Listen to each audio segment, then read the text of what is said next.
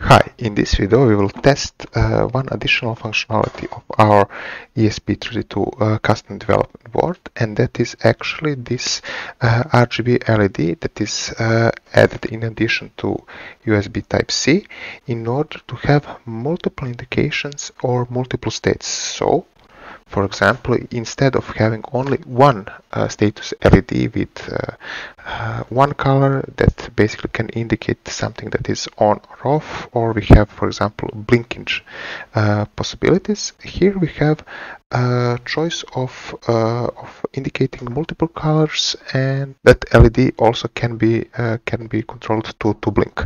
So I think with simply adding some some fully addressable LED RGB, we can have multiple options of controlling the status of, of our, our, IoT device. So for example, if you can imagine now we can set, for example, red color when our device isn't connected to the Wi-Fi. Uh, it can be green color, color when it's connected. And for example, when it has uh, communication to the internet, but not, uh, not connection to the server. It can be, for example, purple. And these multiple options, we now have possibility to indicate as much as we would like. So now let's first check is uh, is our development board working and is connection between our ESP32S2 and our our uh, fully addressable RGB actually correct.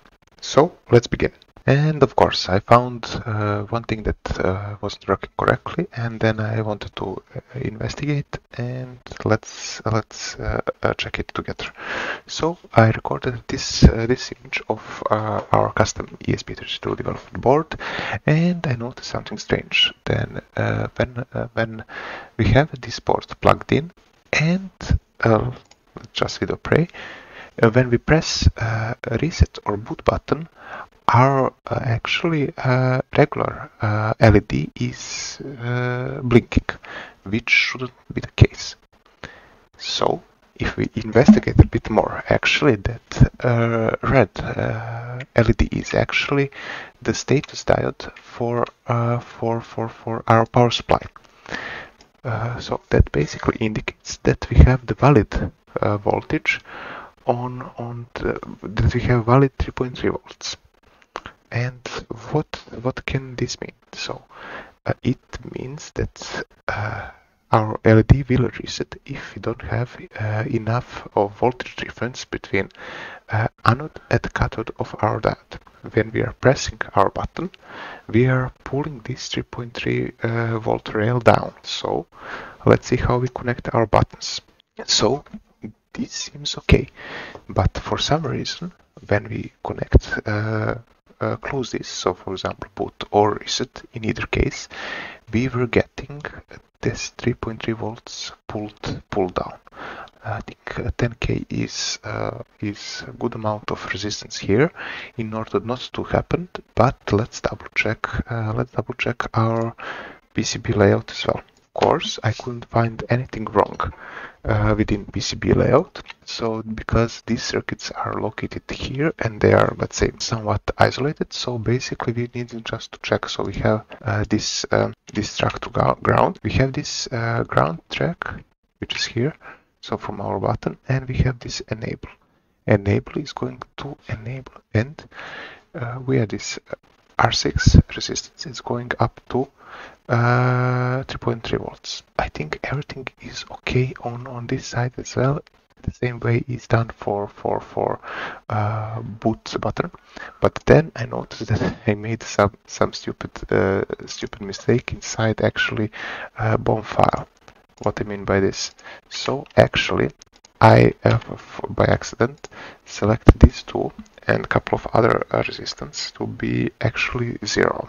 So exactly because of that, when we press uh, press button, actually it will it will close uh, co uh, close connect uh, with uh, our 3.3 volts and ground, and because of that we have this voltage drop on our voltage regulator, and of course not, nothing worked. So after a short operation of uh, replacing the resistors, I think that we have now our working board. And now let's see did our board survive this operation.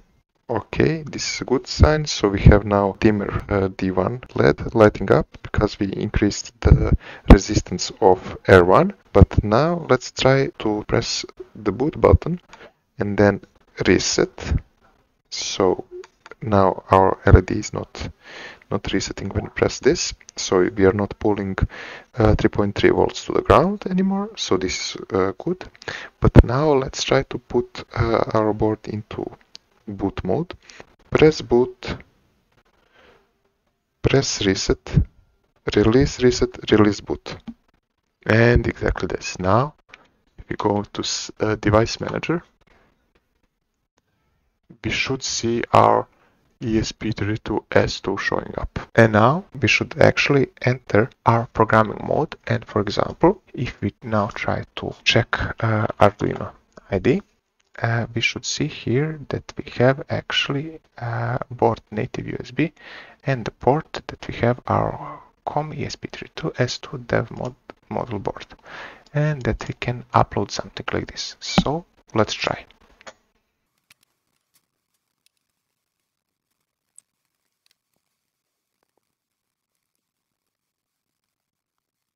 So we are downloading our code and everything is fine until we have something like this.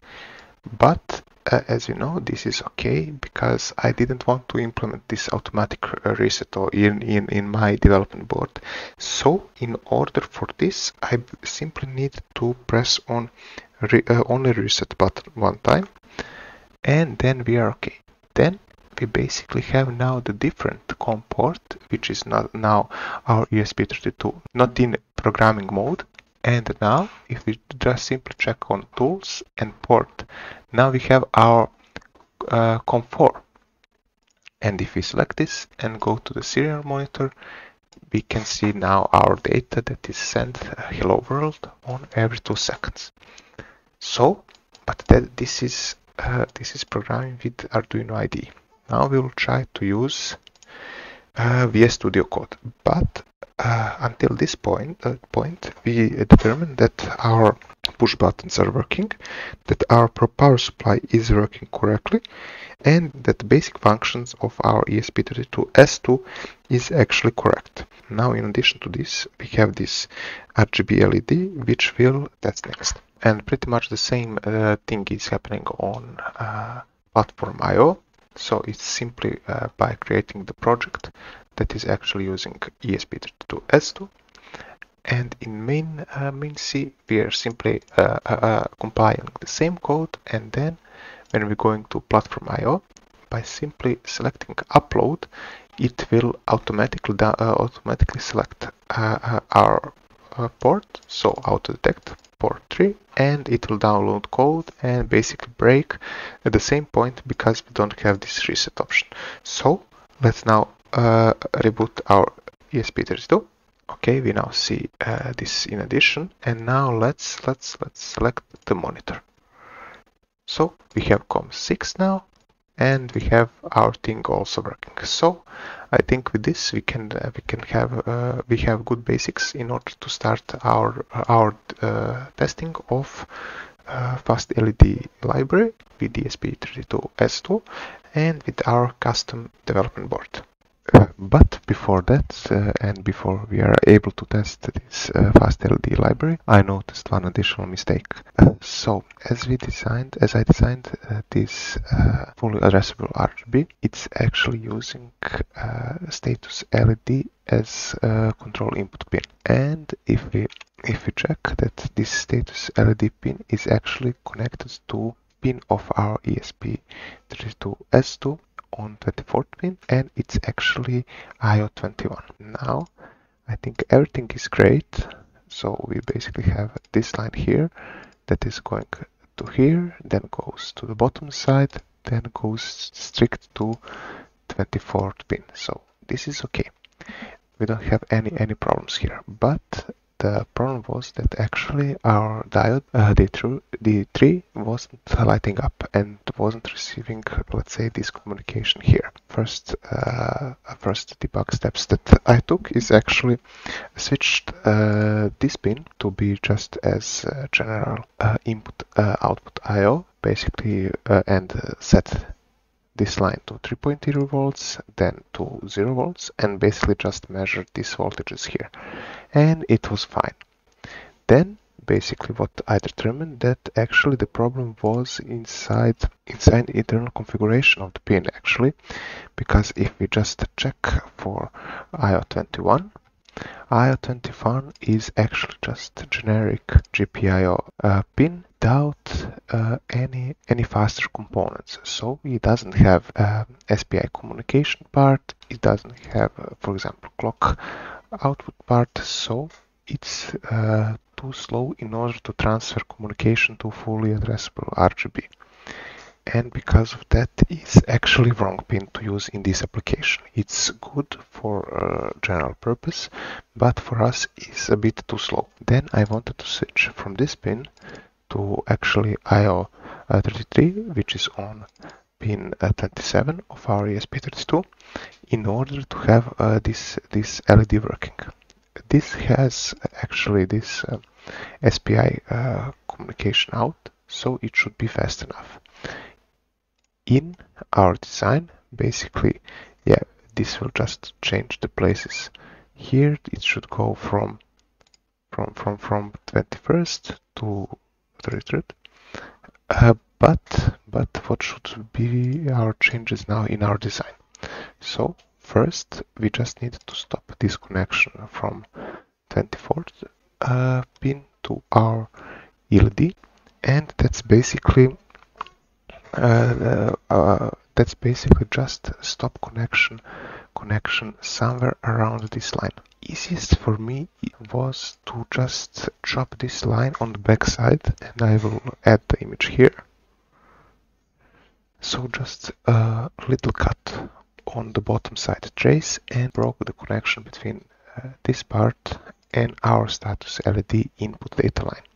Now we just needed to externally add the connection for our uh, GPIO 33 or pin 27 so from uh, from this pin here we need additional connection to to this. And that is done with the simple jumper wire on the top side. And that is it. Now we can test our uh, FastLED library. And after all the trouble we have the simple sketch that will actually just initialize only only one uh, LED control pin is set to our uh, 32 so it's only for develop for our custom development board. Uh, brightness level is set to uh, 40 and now we are using the standard fast uh, fast LED library with uh, add LED with our LED count of 1 setting the brightness and actually we are using built-in uh, rainbow function which will create the rainbow effect for us and basically this is it after, and after uh, compiling and downloading our code our uh, full addressable RGB uh, lit up and we have uh, this nice rainbow effect so after some time we have every functionality of our custom uh, ESP32S2 development board uh, tested and we can now continue with our IoT projects. That's all. See you